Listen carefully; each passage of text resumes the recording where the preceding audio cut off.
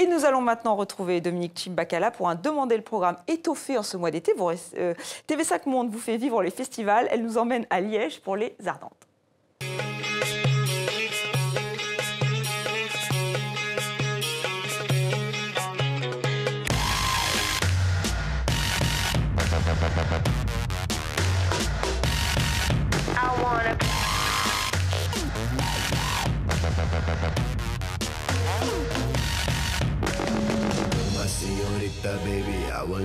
You, baby. Whisper in my ear, I will shower you in jewelry, baby.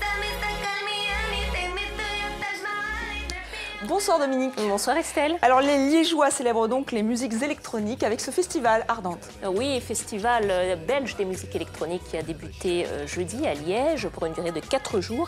Alors c'est un jeune festival hein, parce qu'il n'existe que depuis 2006, mais il reçoit déjà beaucoup de vedettes euh, comme le groupe français d'électro-rock Chaka Ponk. Je vous propose d'aller découvrir la première journée de ce festival. Quelle était l'ambiance avec ce reportage de nos confrères de la RTBF.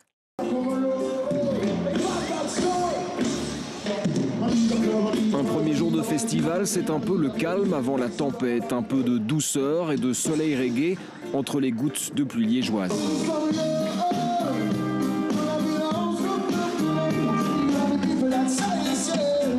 Un premier jour de festival aux Ardentes, c'est aussi de la musique urbaine en plein centre de Liège.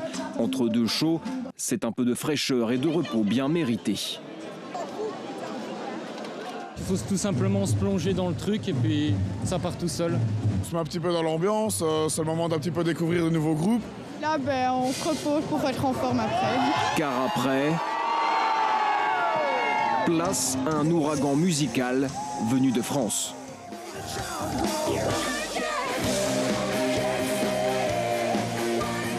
Chacun point. Chacun point, c'est ce qu'on attend depuis le début. Parce que c'est le meilleur groupe de rock français.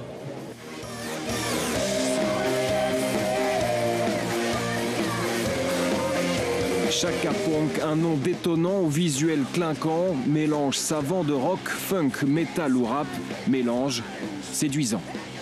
Le, public, il est comme nous. Il, il, aime peut-être pas qu'on l'oblige à aimer un seul truc. Donc euh, il aime la musique. C'est vraiment la liberté à l'état pur, artistique en tout cas. Ne cherchez pas dans le ciel, hier les éclairs de génie étaient en scène, Chaka Punk belle et bête de scène.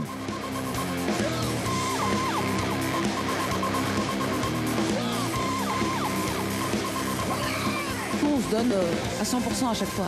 Euh, on fait ce qu'on veut. On a envie de faire la fête, on a envie de s'éclater avec les gens, il y a vraiment d'énergie. De l'énergie, une première réussie aux Ardentes en attendant IM, Placebo ou encore Stromae. Chaka a régalé. Pendant quatre jours, il devrait être près de 75 000 festivaliers à apprécier.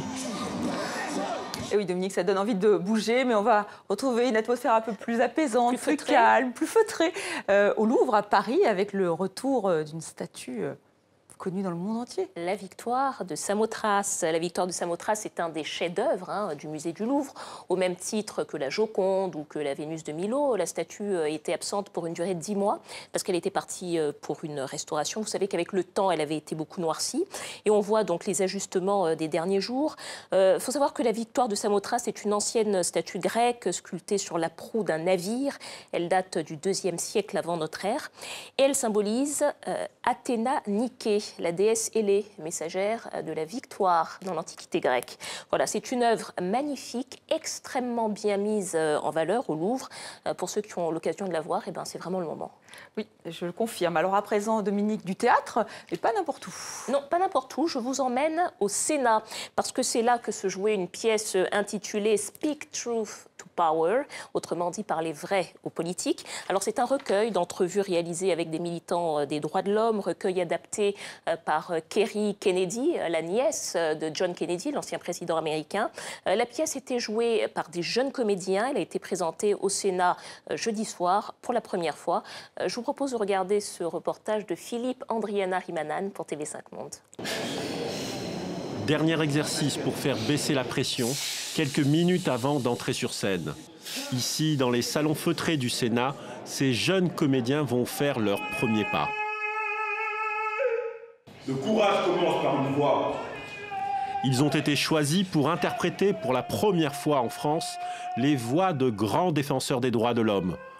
Des paroles recueillies par la militante américaine Kerry Kennedy, nièce de l'ancien président des États-Unis. L'Américain chargé de ma torture n'a jamais été traduit en justice.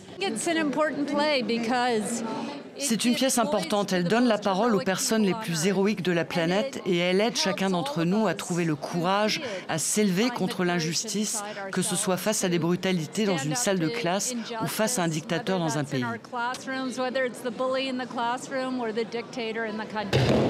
La pièce adaptée par Ariel Dorfman s'intitule Parler vrai au pouvoir, un titre qui va comme un gant à ses élèves de l'école Miroir.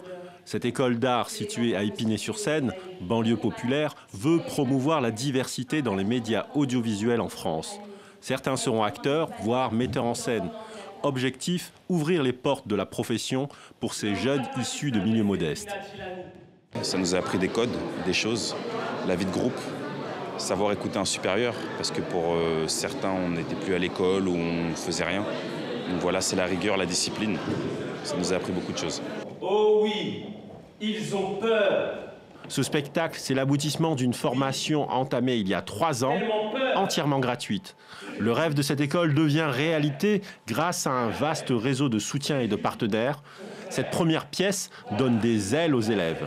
Moi, j'espère qu'avec cette pièce, ça bouge un peu. Les gens oublient, les gens regardent la télé, disent que ce n'est pas leur problème. Là, c'est exactement la même chose, sauf que ce n'était pas une télé. C'était une pièce de théâtre. Les gens regardent, mais disent que ce n'est pas leur problème. On verra demain, on verra après-demain, on verra dans le futur si on a euh, attrapé au moins une ou deux personnes. Le parler vrai au pouvoir de l'école Miroir sera probablement en tournée en 2015 en Guadeloupe. Et avant de nous quitter, on a appris la mort d'un grand monsieur du jazz. Oui, Charlie Haddon, c'était un très très grand contrebassiste du jazz contemporain. Il est décédé euh, hier, vendredi, euh, des suites d'une longue maladie. Euh, on peut dire sans aucun doute que c'était un grand monsieur, c'était un des musiciens les plus doués de sa génération. Il avait commencé au sein du quartet Free Jazz d'Ornette Coleman avant de fonder ses propres formations. Il avait joué également avec le pianiste américain Keith Jarrett. Charlie Haddon est mort à l'âge de 76 ans. Voilà, on peut écouter quelques notes de sa contrebasse célèbre.